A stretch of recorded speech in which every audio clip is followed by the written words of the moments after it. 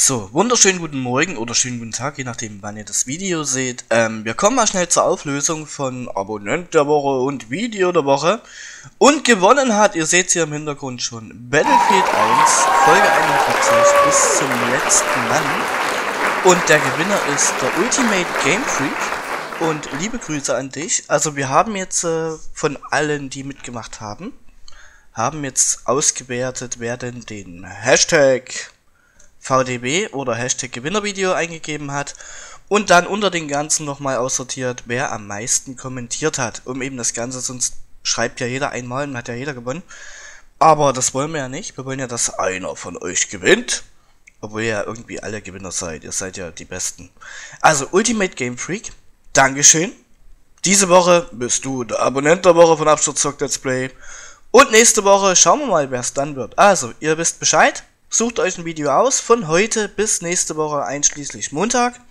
Schreibt dann einfach unter das Video, was euch am besten gefällt, ein Hashtag VDW oder Hashtag Gewinnervideo oder beides.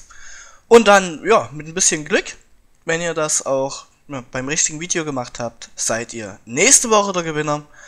Und äh, ich habe auch einen Ultimate Game Freak schon angeschrieben über Instagram.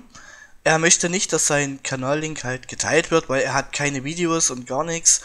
Und von daher ist das für euch die Chance natürlich nächste Woche, wenn ihr selber einen YouTube-Kanal habt.